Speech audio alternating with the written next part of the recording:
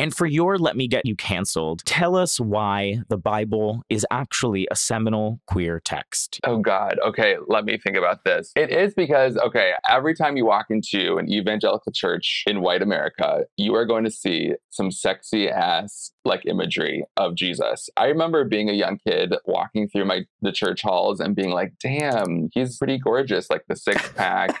you know, like the beard, the beautiful eyes. There's a level of homoeroticism, not only Yeah. in Jesus' story, but like throughout the entire text of the Bible. That's like something's going on here. Like maybe it's not in print in the actual Bible, but like Mhm. there was some stuff happening between Jesus and his, what's the word for them? Disciples. There we go. Okay, so I like this. Reason number one sexy Jesus with abs and a lot of dudes. Okay. Totally. I'm going to lean into sexy Jesus. Okay. I think that's room enough to to argue that the Bible is pretty freaking gay.